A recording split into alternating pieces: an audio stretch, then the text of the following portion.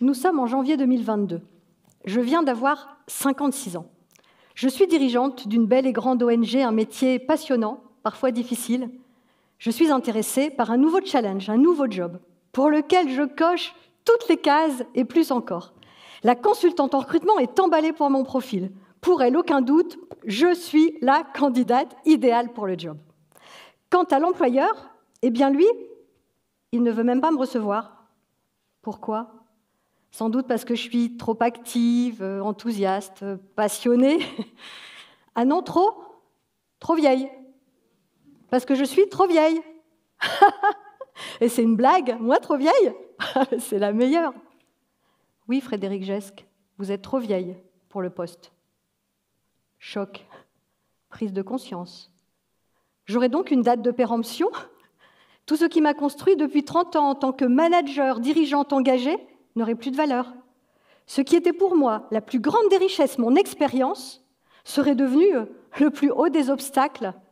Consternation, incompréhension, désolation, colère, oui, colère, parce que c'est ça aujourd'hui être senior dans le monde du travail en France.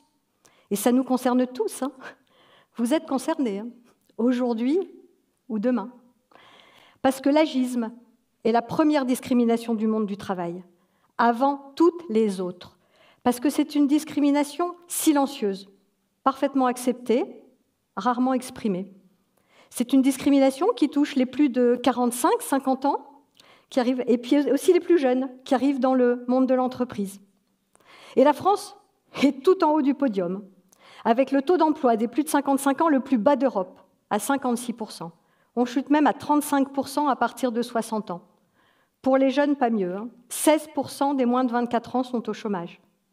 En France, si vous perdez votre job après 50 ans, vous restez au chômage deux fois plus longtemps que les autres. En France, 1,4 million de jeunes sont sans emploi.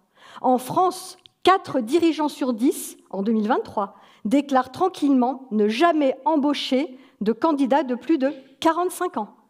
Et 68% des DRH confirment tout bonnement écarter les profils seniors. Alors vous me direz, euh, pourquoi? Pourquoi? Moi j'ai essayé de comprendre l'incompréhensible. Je pense que la réponse se trouve dans le regard que pose notre société tout entière sur l'âge. Et dans les stéréotypes, les préjugés, les clichés des cases générationnelles dans lesquelles on nous enferme. Vous les connaissez, ces cases, non? Mais Oui, monsieur là-bas, vous êtes boomer. Ah oui, puis ah bah vous, madame, vous êtes X, hein, comme moi. Hein. Puis je vois des Y, des Z pour les plus jeunes d'entre vous. Eh bien, ces cases, elles rendent les vieux inutiles et les jeunes pas utiles. On nous donne à voir un monde compartimenté, construit les uns contre les autres. Tenez, par exemple, les plus jeunes, cette fameuse Gen Z. Ils sont fainéants, non? Tout le monde le dit, hein ils ont l'attention d'un poisson rouge. Aucune ambition. Ils ne respectent pas l'autorité. Ils sont parfaitement individualistes, impatients, euh, accros aux réseaux sociaux. Ils parlent une drôle de langue, hein, fait ghoster, euh, wesh. Et puis ils pensent euh, qu'à faire le tour du monde. Hein. Quant aux seniors, bah, c'est bien connu. Hein. Ils sont complètement déconnectés. Ils ne comprennent rien aux outils numériques. Et puis, euh, ils sont trop chers. Fatigués, usés, démotivés, en mauvaise santé. Difficile à manager. Hein. Incapables de s'adapter. Has-been. Ok, boomer. Autrement dit, euh, ta gueule, la gueule. Hein ah ouais, les stéréotypes, les, clichés pilotent nos entreprises et même notre quotidien. Est-ce nouveau? Pas vraiment. Regardez, regardez ces citations elle date de 720 et 400 avant Jésus-Christ. Hésiode et Socrate. Pas trop de doute, hein, l'incompréhension entre les générations est bien un phénomène ancestral. Est-ce pire aujourd'hui? Peut-être. En tout cas, l'accélération de la transformation du monde, le numérique, l'obsolescence toujours plus rapide des compétences, la crise climatique aussi, tout ça, ça creuse le fossé du vécu, de la réalité de chaque génération. Et les messages médiatiques souvent renforcent aussi ce ressenti d'une tension intergénérationnelle, euh, incompréhension, euh, euh, rancœur parfois envers ceux qui n'ont pas pris la mesure des enjeux planétaires, irrespect. Chacun pense détenir la vérité. Qu'est-ce que ça dit de notre société, de notre humanité? Qu'attendons-nous pour changer de regard sur l'âge? Mon monde à moi, mon univers, c'est l'entreprise, sous toutes ses formes, hein, là où on entreprend. Pour moi, c'est là où on fait société. Et c'est là aussi qu'est le pouvoir d'agir. Je crois en la capacité de ceux qui entreprennent à changer le monde. Vous savez, quand vous agissez pour le bien commun, quand vous portez une cause plus grande que vous, alors le collectif s'engage, se dépasse. Ah, je le sais, je, l'ai vécu hein, dans les réseaux d'entrepreneurs, euh, les ONG que j'ai eu la chance de diriger. Oui, dans l'entreprise, on a vraiment le pouvoir d'agir. Et je vais vous dire tant mieux, hein, parce qu'aujourd'hui, euh, il est urgent d'agir. Hein. Savez-vous que la dimension sociétale de l'entreprise a été inscrite dans la loi Pacte en 2019 Il est désormais écrit dans le Code civil qu'elle doit être gérée en prenant en considération les enjeux sociaux et environnementaux de son activité. L'entreprise est désormais citoyenne. Elle doit générer une performance plurielle, économique pour euh, créer de la valeur, mais aussi sociale et environnementale. Face aux enjeux vitaux de la transition, l'entreprise est mise en responsabilité. Pourtant, elle ne va pas très bien, cette entreprise. Hein. On pourrait dire qu'elle souffre euh, d'une certaine crise de légitimité. Les salariés n'ont jamais autant exprimé leurs besoins de sens. Les salariés n'ont jamais autant exprimé leur désengagement face à des conditions de travail, des relations de travail qu'ils ne comprennent plus parfois. Savez-vous qu'en 30 ans, le pourcentage de Français qui estiment que le travail est très important dans leur vie est passé de 60% à 21%. Ça vous parle? En plus, euh, c'est vrai que la crise sanitaire nous a rappelé hein, que la vie était précieuse, fragile, que le travail euh, n'était peut-être pas une fin en soi. Alors, euh, nous ne voulons plus vivre pour travailler, hein. nous voulons travailler pour vivre et nous épanouir. Nous sommes devenus plus exigeants. Alors les entreprises, que font-elles pour attirer les talents? Eh bien, elles parlent. Oui, oui, disent-elles tant cœur, rejoignez-nous, nous allons changer. Nous voulons avoir un impact positif. Nous voulons devenir des acteurs du bien commun. Nous voulons porter la transformation de la société. Les start-up sociales, les entreprises à impact fleurissent. Les raisons d'être sont brandies, telles des étendards, pour démontrer à quel point les bonnes volontés sont là. Et moi, je dis euh, bravo, hein eh oui, bravo. Hein enfin, le bien commun n'est plus réservé aux ONG et au gouvernement. Enfin, bravo. Et eh oui. Euh, sauf que, comment agir si dans le même temps, la fracture entre les générations augmente? Comment adresser ces enjeux vitaux du dérèglement climatique, des inégalités sociales, si chaque génération se renvoie la balle? Comment faire dans l'entreprise si quatre générations se côtoient mais ne se parlent pas, travaillent côte à côte mais ne s'engagent pas ensemble. Comment se comprendre si on ne fait pas l'expérience de l'autre? Comment tout simplement dans l'entreprise agir si on ne veut plus des seniors et si on a peur des plus jeunes? Cette collision intergénérationnelle, elle démobilise, elle désengage. Alors euh, qu'il y a urgence à engager, notre monde est en danger. Et nous, qu'est-ce qu'on fait? On perd temps et énergie à s'enfermer dans nos petites cases. Alors, hein comment on fait?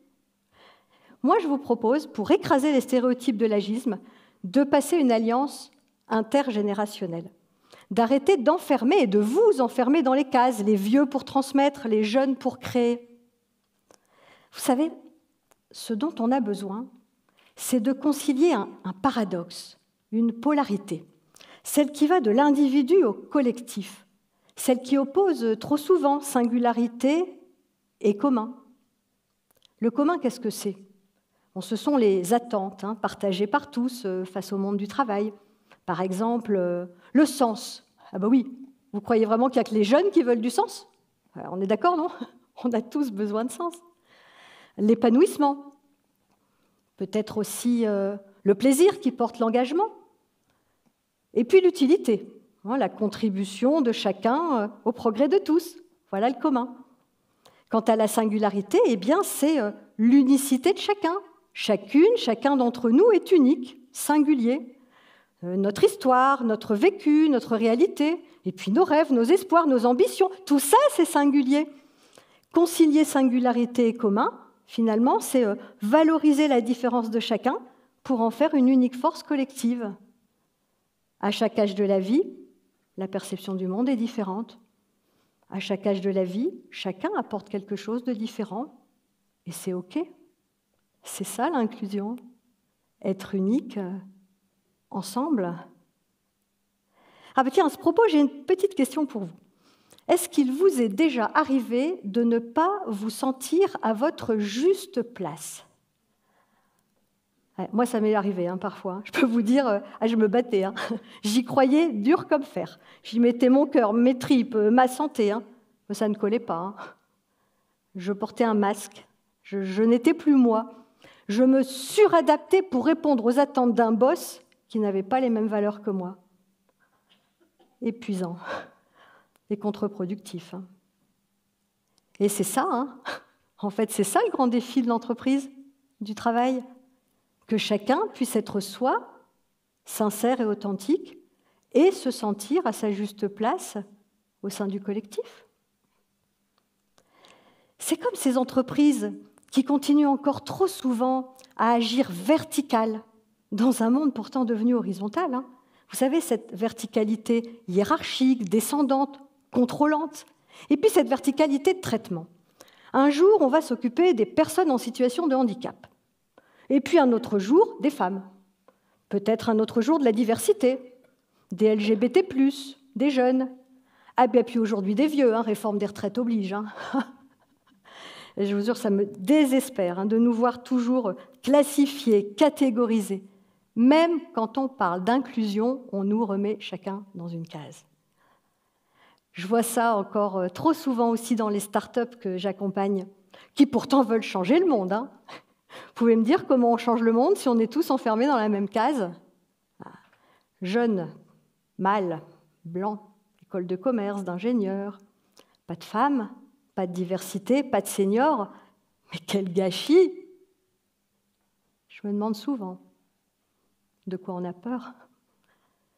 Je me demande souvent ce que la différence, la diversité, l'âge aussi, hein, en nous hein, pour nous faire si peur.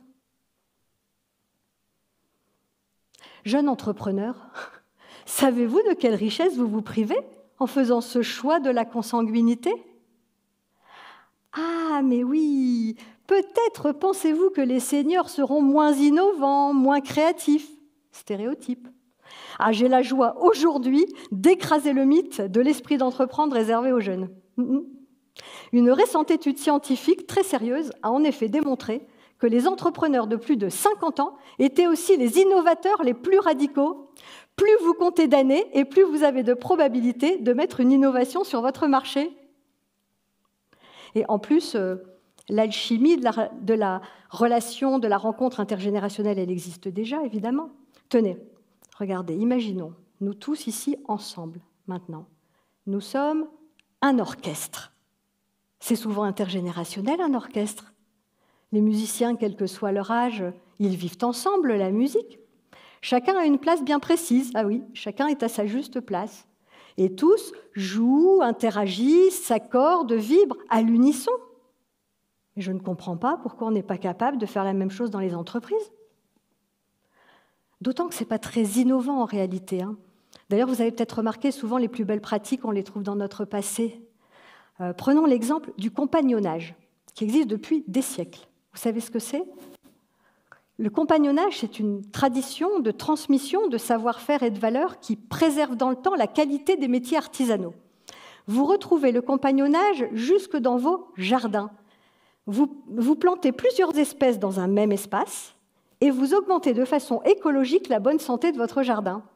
En fait, qu'est-ce qui se passe? Eh bien, chaque végétal va venir soutenir son voisin en lui faisant bénéficier de ses propriétés singulières. On y est, non? Qu'est-ce que vous en pensez?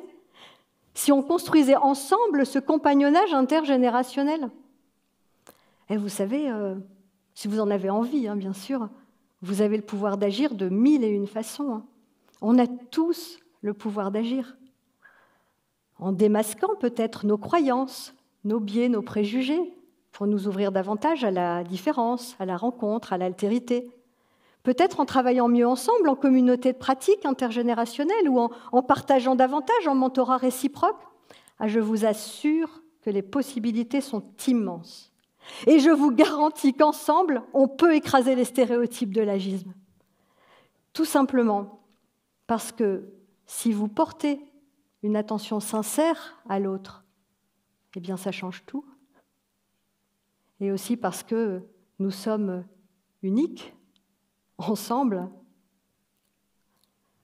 En tout cas, moi, je veux être Greta, Jen, Michel à la fois, toutes ces femmes, ces femmes de toute génération, ces femmes de lien, qui sont engagées unies dans un même combat pour le bien commun, pour l'inclusion. Alors, euh, vous me trouvez peut-être euh, idéaliste, je suis une rêveuse, on me l'a souvent dit. Hein. Mais euh, il faut rêver grand pour agir, non? Et moi, euh, je suis surtout une femme d'action. Alors j'ai euh, une dernière question pour vous. Est-ce que vous aussi, vous êtes prêts à passer du rêve à l'action? Est-ce que vous êtes prêts à sortir enfin de votre case? Merci.